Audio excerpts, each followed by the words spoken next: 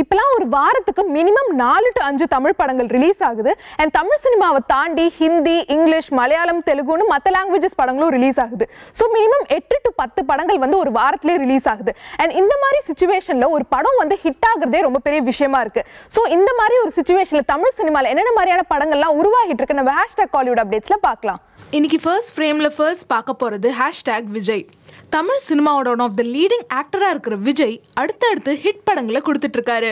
இப்போ அட்லி டைரக்ஷன்ல பிகில் படத்துல நடிச்சிட்டு இருக்காரு அண்ட் இந்த படத்தை ஏஜிஎஸ் என்டர்டெயின்மெண்ட் ப்ரொடியூஸ் பண்ணிட்டு இருக்காங்க இப்போ இந்த படம் அவரோட கெரியர்லயே பெரிய பட்ஜெட்ல உருவாகிட்டு இருக்கிறதா அதாவது ஒன் ஃபார்ட்டி க்ரோர் பட்ஜெட்ல உருவாகிட்டு இருக்கிறதாவும் படத்தோட ப்ரீ ரிலீஸ் பிசினஸ் மட்டும் டூ டுவெண்ட்டி க்ரோர் நடந்திருக்கிறதாவும் சினிமா வட்டாரங்கள்ல சொல்றாங்க.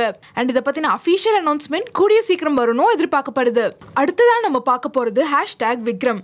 ராஜேஷ் எம் செல்வா டைரக்ஷன்ல விக்ரம் கடாரம் கொண்டான் படத்துல நடிச்சு முடிச்சிருக்காரு. ஜூலை நைன்டீன்த் ரிலீஸ் ஆக போற இந்த படத்துக்காக ஆடியன்ஸ் எல்லாம் வெயிட் பண்ணிட்டு இருக்காங்க இப்போ இந்த படத்துக்கு அடுத்ததா மணிரத்னம் டைரக்ஷன்ல உருவாக போற பொன்னியின் செல்வன் படத்துல விக்ரம் நடிக்க போறதா கன்ஃபார்ம் பண்ணியிருக்காரு அண்ட் அது மட்டும் இல்லாம இந்த படத்தோட ஷூட்டிங்ல நெக்ஸ்ட் இயர்ல இருந்து கலந்துக்க போறதாவும் சொல்லியிருக்காரு. இது மட்டும் இல்லாம விக்ரமோட மகாவீர் கர்ணா படம் டிராப் ஆகிட்டு தான் ரூமர் ஸ்ப்ரெட் ஆகிட்டு இருந்தது. அண்ட் அது விக்ரம் இப்ப மறுத்திருக்காரு. பொன்னியின் செல்வன் படத்தை முடிச்சிட்டு மகாவீர் கர்ணா படத்துல நடிக்க போறதாவும் சொல்லியிருக்காரு. அடுத்ததான் நம்ம பார்க்க போறது ஹேஷ்டாக் விஜய் சேதுபதி. சிந்துபாத் படத்துக்கு அப்புறமா விஜய் சேதுபதி பல படங்களை கைவசம் வச்சிட்டு இருக்காரு அந்த வகையில சீனு ராமசாமி டைரக்ஷன்ல மாமனிதன் படத்துல நடிச்சு முடிச்சிருக்காரு விஜய் சேதுபதி. இந்த படத்துல காயத்ரி குரு சோமசுந்தரம் இம்பார்ட்டன்ட் ரோல்ஸ்ல நடிச்சிருக்காங்க.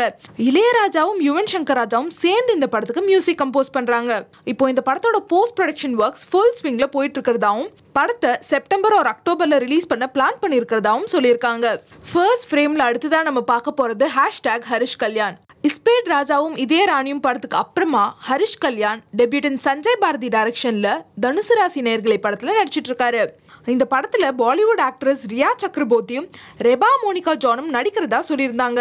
பட் இப்போ சம் டேட் கிளாஷ்னால ரியா சக்கரபோர்த்தி படத்துல இருந்து அவங்களுக்கு பதிலா திகங்கனா சூரியவன்ஷி நடிக்க போறதாவும் சொல்லியிருக்காங்க.